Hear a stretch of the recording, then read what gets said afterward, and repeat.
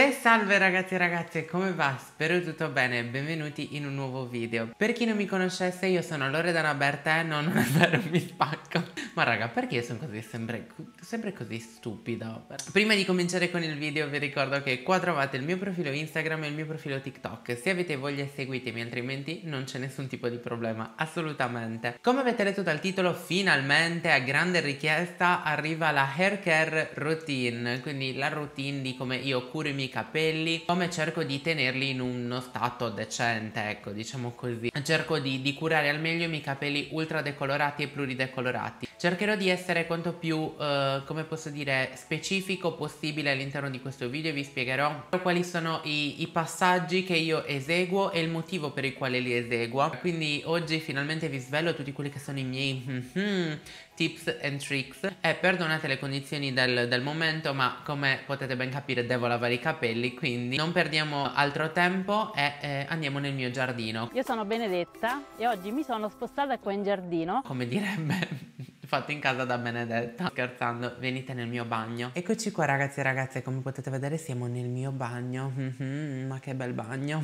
Come primo step, come potete vedere, vado a inumidire i capelli sotto l'acqua corrente e tramite l'acqua fornisco idratazione ai miei capelli. Successivamente, una volta tamponati i capelli e tolto quello che è l'eccesso d'acqua, l'asciugamano che sto utilizzando nel video me l'ha inviato una ragazza che si chiama Naturangi, esperta di capelli ricci e afro vi lascio in info box il link dove potete acquistare questo suo asciugamano nel caso vogliate e la ringrazio ancora per avermelo inviato gratuitamente. Vado ad applicare una delle mie maschere preferite e questa è la maschera di Omia all'argan. È abbondo con il prodotto, lo stendo sia sulla cute che sulle lunghezze e le punte. Perché vado a fare questo step? In quanto uh, attraverso uh, l'acqua vado a dare idratazione ai miei capelli e successivamente sigillo l'idratazione all'interno utilizzando una maschera. Perché faccio questo passaggio? Proprio perché i capelli porosi sono dei capelli che che tendenzialmente tendono a non trattenere l'idratazione nei capelli ma tendono a perderla con molta facilità. Quindi facendo in questo modo blocco l'idratazione all'interno del capello, lascio in posa per un'ora come vedete dal timer e ci rivediamo fra un'oretta.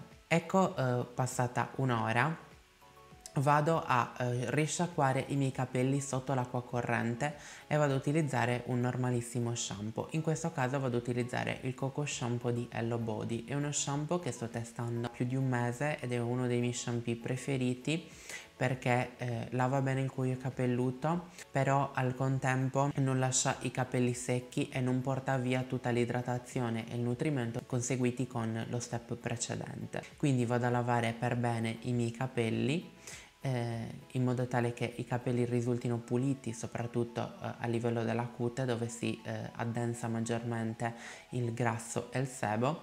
E poi vado a risciacquare anche questo sotto l'acqua corrente preferibilmente fredda. Successivamente una volta sciacquato lo shampoo vado a tamponare i miei capelli con un asciugamano in cotone o in microfibra. Tendono a eh, non spezzare i capelli in quanto più delicati e tampono delicatamente i miei capelli proprio per eh, evitare che questi si possano spezzare. Perché come potete ben capire i capelli decolorati sono dei capelli molto molto fragili dei capelli che tendono a spezzarsi molto facilmente. E questo lo consiglio anche alle persone eh, aventi i capelli ricci di utilizzare sempre un asciugamano in microfibra o una t-shirt in cotone proprio per evitare che eh, il riccio eh, diventi crespo. Successivamente una volta tamponati lavati per bene i capelli vado ad utilizzare un olio pre-styling, uno tra i miei oli preferiti in assoluto è un olio siliconico ed è il Lux Oil di Vella, è un olio professionale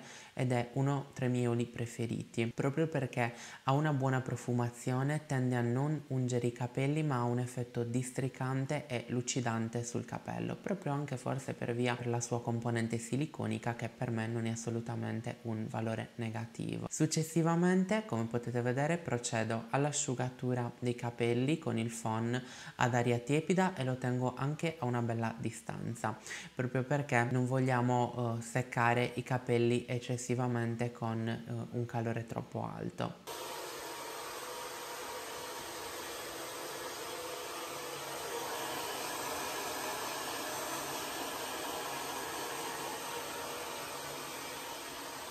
Successivamente se vedo che è necessario utilizzo una spazzola tonda come una spazzola per esempio Thermix e vado a lavorare alcune delle mie attaccature in modo tale che i capelli e la piega risulti eh, quanto più eh, definita e eh, perfetta possibile eh, sempre per quelli che sono i miei standard. E questi sono appunto i capelli solamente asciugati con il phon e eh, con la spazzola tonda giusto per dare un pochino di definizione, un pochino di movimento. Ora successivamente vado a piastrare i miei capelli con la GHD Gold, la versione standard, e vado a sezionare i miei capelli con un elastico. Solitamente utilizzo dei becchi d'oca, però in questo caso ho utilizzato un elastico. Una cosa che mi chiederete sicuramente è Nico perché non utilizzi un pettine quando passi la piastra?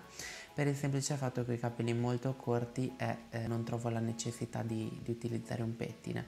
Se dovessi realizzare la piega su un'altra persona lo userei sicuramente. E questi ragazzi sono i capelli post eh, piastra e questo è il risultato finale. Fatemi sapere ovviamente che cosa ne pensate. E niente raga, questi sono i capelli terminati. Certo so, c'è sicuramente da dire una cosa che i capelli eh, decolorati non potranno essere mai paragonati a dei capelli completamente naturali, dei capelli che non hanno mai subito nessun tipo di trattamento chimico. Però questi step, almeno nel mio caso, perché dobbiamo ricordare che questo è il mio metodo, non è detto che funzioni su tutti, è il metodo che io utilizzo per mantenere mantenerli quanto più sani possibili. E come potete vedere non, non sono ridotti ecco malissimo proprio perché decolorandoli io stesso e mettendoci tanta attenzione e cura eh, devo dire che ottengo dei risultati abbastanza positivi. Passando eh, a delle domande che sicuramente mi farete nei commenti così vi rispondo direttamente qua in un video. Una delle domande sicuramente che mi farete Nico ma perché fare la maschera prima dello shampoo? Non pensi che lo shampoo vanifichi l'effetto perfetto? Assolutamente no.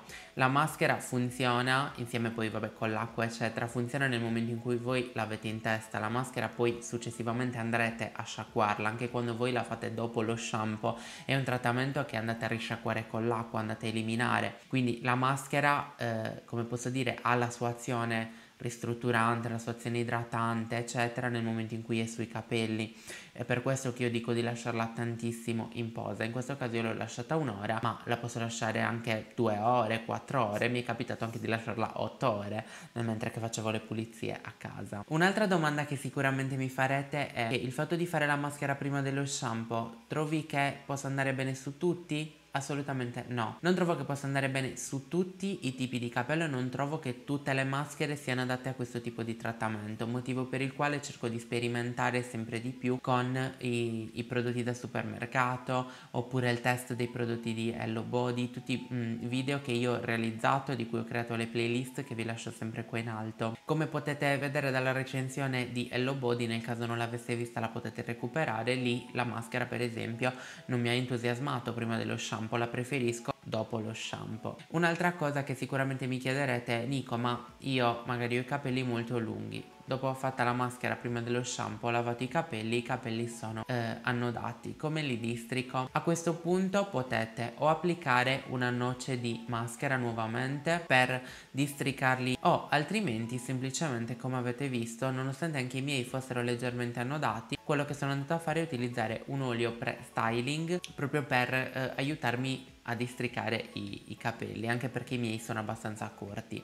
Il metodo della maschera prima dello shampoo è un metodo molto particolare, è un metodo che io consiglio a tutte quelle persone che hanno i capelli grassi, è un metodo che consiglio a tutte quelle persone che hanno i capelli corti come i miei e che quindi tendono anche a sporcarsi facilmente, di tutti quei capelli che necessitano di trattamenti nutrienti, ristrutturanti, idratanti ma che comunque ho un capello corto, se io andassi a metterli dopo mi ungerebbe tantissimo i capelli. Quando fate la vostra hair care routine mi raccomando che se avete delle ciocche, delle schiariture che sono alte fino alla base o avete i capelli completamente decolorati, mi raccomando la maschera maschera mettetela anche lì, tanto poi successivamente andando a fare lo shampoo si eliminano i residui unti dalla cute e quindi eh, non ci sarà nessun tipo di, di, problema. Tante volte le persone mi chiedono su Instagram io ho la cute grassa e le lunghezze secche, come faccio? Proprio facendo in questo modo, andiamo a mettere la maschera prima sui capelli, poi successivamente procedi con lo shampoo, il tuo preferito, uno shampoo adatto alla tua tipologia di capello. Ti ricordo che lo shampoo va fatto solamente sulla cute e non si lavano mai le lunghezze e le punte perché